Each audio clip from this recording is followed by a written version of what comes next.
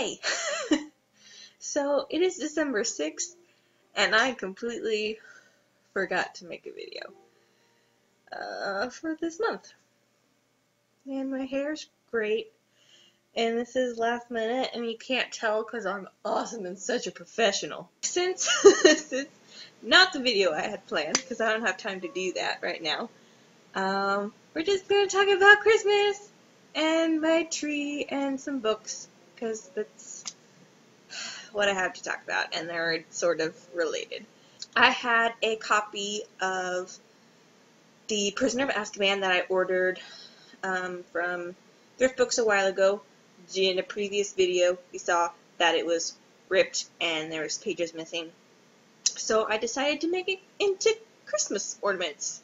I bought 10 of these plastic globe things um, this one I just cut up strips of the book and I curled them with a scissors like you would ribbon.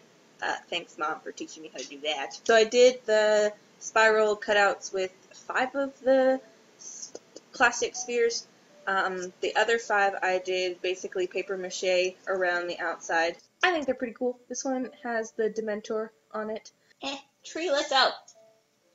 I know it's pretty, but let it go. There's a frozen joke in there, but I'm not going to make it. Wooden eggs. Um, the wooden ones were just cheaper than styrofoam, so why not go with the wooden ones? And I cut out little rectangles of the pages uh, and made them into little notches on the ends. Um, other people did squares. I just thought this looked better. Basically, I made little paper pine cones.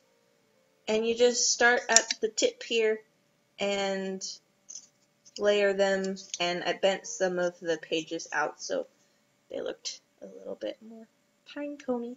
And I attached a little string so they hung on the tree. Also did my tree topper, which you can't see in this video, and it's too far away and I don't want to get up because I'm lazy and I don't want to reach for it. But I will put a picture of it probably right here. Woven Advent star. I thought it looked really pretty and I wanted it on the top of my trees. I always ask for books for Christmas. It's a thing. Series of Unfortunate Events. Book number one, The Bad Beginning. The Reptile Room.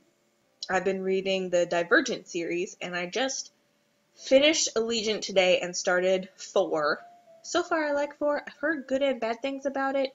So far, I like it. I'm also currently in the middle of the most books that I've been in simultaneously as far as I can remember. Because I am in the middle of the third one of the series of unfortunate events starting tomorrow.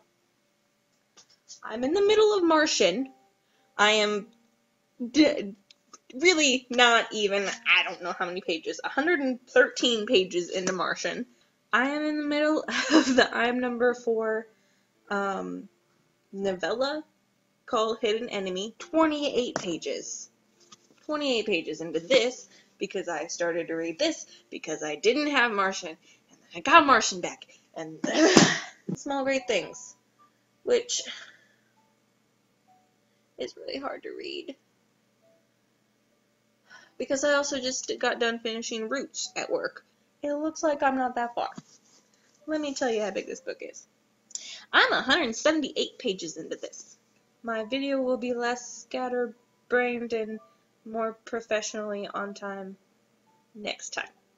Is this how we Christmas photo? Christmas card photo right here. Oh yeah.